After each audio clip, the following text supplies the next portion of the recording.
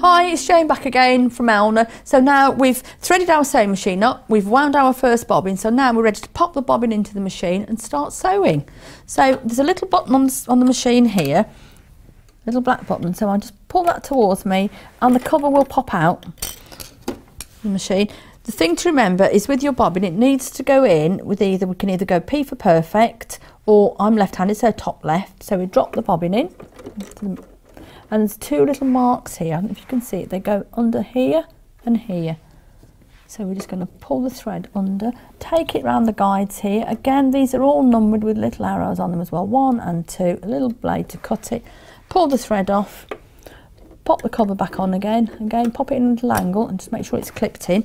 And then we're ready to start sewing.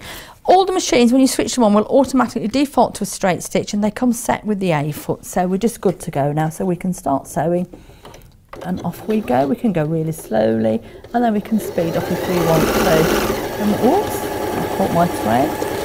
And then we can stop, we can pivot.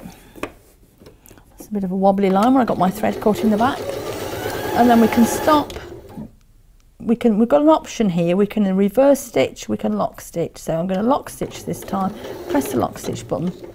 It'll stop and tie off for me. And then I'm going to cut. Can, if we want to, press the little button here, the lock stitch and the scissors. So the scissors are active on the screen. So every time we hit the lock stitch, the scissors will automatically cut the thread for us and we don't even need to do that. So if you've got any queries or any questions at all, if you can either send them in or drop us an email and we can answer them for you. So thank you very much for watching and I'll see you soon.